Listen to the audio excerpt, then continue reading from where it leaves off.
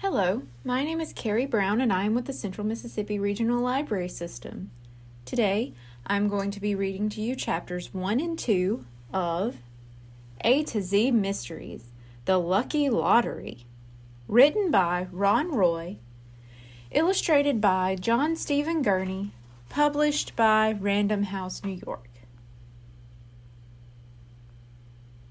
Chapter 1 Ready? Aim! Fire! yelled Ruth Rose. She and Dink hurled snowballs at Josh's fort. Josh's grinning face popped up. Missed by a mile, he yelled. You throw like a girl, Ruth Rose. I am a girl, Ruth Rose yelled back. She whipped another snowball, catching Josh in the face. The sides were uneven, but no one cared. It was Dink, Ruth Rose, and her little brother Nate against Josh and his dog Pal. Nate was in charge of making snowballs for his sister and Dink. Pal raced around barking and trying to catch the snowballs in his mouth. More snowballs flew at Josh's fort. Suddenly, Dink yelled, Stop! Two little kids in lumpy snowsuits had wandered into Dink's backyard. Who are they? asked Ruth Rose. Dink shrugged. He and Ruth Rose dropped their snowballs and walked over to the newcomers. The taller one was a boy. He wore a dark blue parka and a green ski hat. The shorter one was a girl. Her red hair framed blue eyes and pink cheeks. Hi, Dink said. Who are you? I'm Josephine, the girl said. And I'm Ben, the boy said. We brought you a message from our big brother. Josh climbed out of his fort and walked over. Who's your brother? he asked. Lucky O'Leary, Josephine said. Oh, now I recognize you, Ruth Rose said. You live over on Robin Road. Ben O'Leary unzipped his parka pocket and pulled out a crumpled note. Here, Lucky said to read it right now. He handed the note to Dink. Dink flattened out the paper. Guys, I need you. Come to my house now. Urgent. Lucky. Did Lucky say what this is about? Dink asked. It's a secret, Josephine said, her eyes wide. Dink, Josh, and Ruth Rose looked at each other. Let's go, Ruth Rose said. She pointed her brother toward their house. Nate, please go stay with Mom. Tell her I had to go on a secret mission. Dink, Josh, and Ruth Rose followed Ben and Josephine. With Pal at their side, they headed for the west side of Green Lawn. It was Christmas vacation, and the store windows on Main Street were decorated with tiny white lights. Snow covered the grass, but the streets and sidewalks had been cleared. Is your brother home from college? Dink asked Ben. Ben nodded. He came home a couple days ago. We bought a Christmas tree and presents, Josephine added. The kids crossed Main Street and headed up Bridge Lane. They turned left and stopped at 33 Robin Road. The house was tall and blue. Kids' toys and sports stuff were scattered across the yard and front porch. The five kids tromped up the steps. Josephine threw open the front door and clumped down the hall, leaving snow tracks on the floor. Dink and the rest of the kids knocked the snow off their boots before stepping inside. Josh told Pal to wait on the front porch. Lucky's in the kitchen, Ben said, leading the way. Lucky was making lunch for his six brothers and sisters. Lined up on the counter were six grilled cheese sandwiches, six glasses of milk, and six bananas. We brought 'em, Josephine said. She and Ben hung up their jackets and sat at the table with the rest of their sisters and brothers. Lucky had grown taller since Dink had last seen him. His hair was longer, too. Hey, Lucky said, nodding at Dink, Josh, and Ruth Rose. To his brothers and sisters, he said, Okay, you guys eat your lunches. Be good and no fighting. Ben's in charge. Why does he get to be in charge? Josephine piped up. Because I said so, Lucky said. Then he smiled at Josephine. You can be Ben's assistant, okay? Lucky beckoned for Dink, Josh, and Ruth Rose to follow him. Stepping over soccer balls, mittens, books, and hockey sticks, they trailed after Lucky into the living room. A tall Christmas tree stood in one corner, half decorated. Ornaments and strings of lights covered the floor. Lucky threw himself into a chair and rubbed the top of his head. Someone robbed us, he said. Dink looked around the room. What did they take? he said. Lottery tickets, Lucky said. Every year, my grandfather sends us kids a Christmas card with seven lottery tickets inside. Every year, he uses our birthdays for the numbers, and every Christmas morning, we open the card while he's here. It's a big ritual in my family. Nobody ever wins, but Gramps gets a kick out of it. Lucky pointed to a row of Christmas cards propped up on the fireplace mantel. This year, a burglar got in here and stole his card. I hadn't even opened the envelope. But how did the burglar know there were lottery tickets inside? Josh asked. I don't know, Lucky said. My grandfather called me this morning, all excited. He said he'd been reading his Sunday newspaper and saw that the winning lottery number was my birthday. But when I ran in here to get the card, it was gone. So the burglar must have learned the winning number before your grandfather did, Ruth Rose said. Lucky nodded. Lottery winners are announced on TV every Saturday night, he said. The crook must have heard about it then.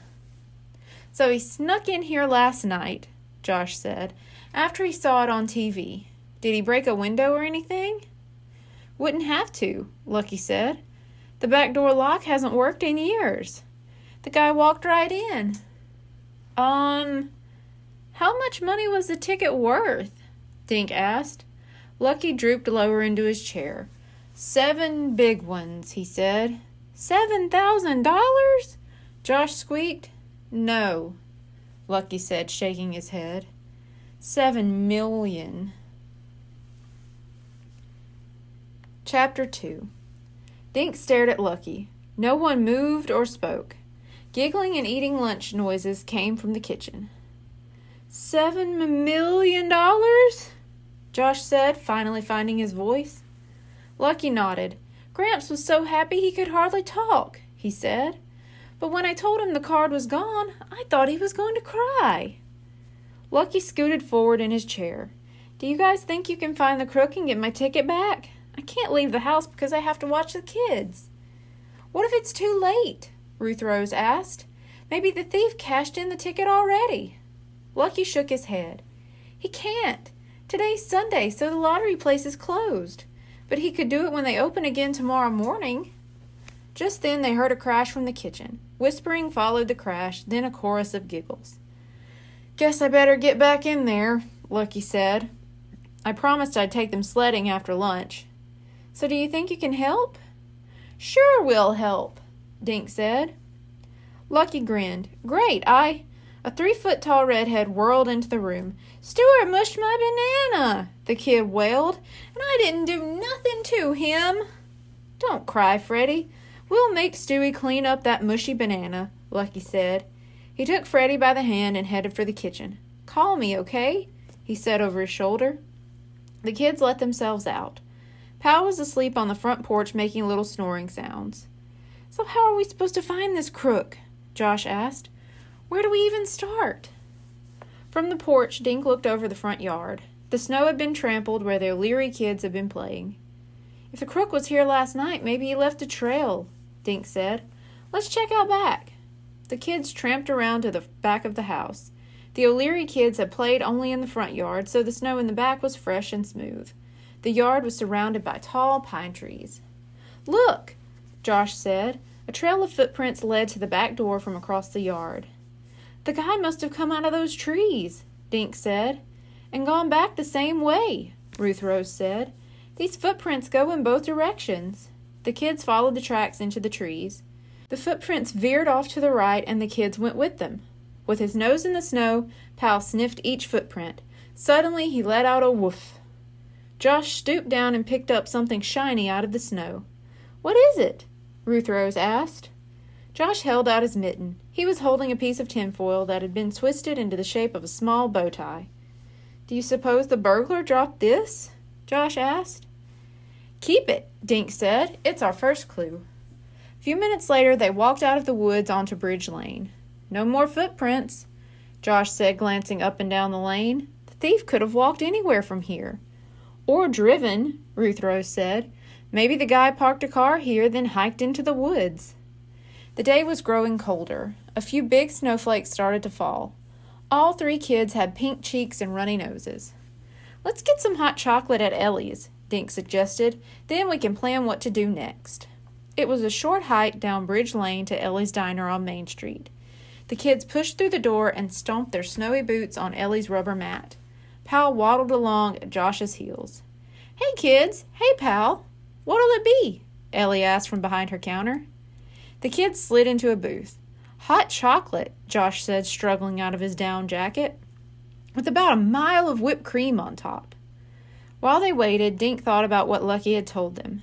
Guys, anyone watching TV Saturday night would know the winning numbers, right? he said. But how did the thief know that the winning ticket was inside Lucky's Christmas card? Just then Ellie came over. Hot stuff, she said, setting three tall mugs on the table. Each was topped with a small mountain of whipped cream and dotted with chocolate sprinkles. Don't burn that cute nose, Josh, Ellie added as she turned away. Josh blushed, then licked the top of his whipped cream. Dink blew on his hot chocolate. Anyone got an idea? he asked. Somehow the thief knew Lucky's grandfather mailed that ticket to Lucky, Josh said. But how? asked Ruth Rose. Maybe the thief knows Lucky's grandfather, said Josh. Maybe they're friends. That's a great idea, Josh, Ruth Rose said. Why don't we talk to Lucky's grandfather? Dink fished in his pocket for a quarter. Let me out, guys, he said. I'm going to call Lucky. Dink climbed over Josh's legs. Drink fast, he said, but don't burn that cute nose. Thank you. Be sure to tune in next week for chapters 3 and 4. Goodbye.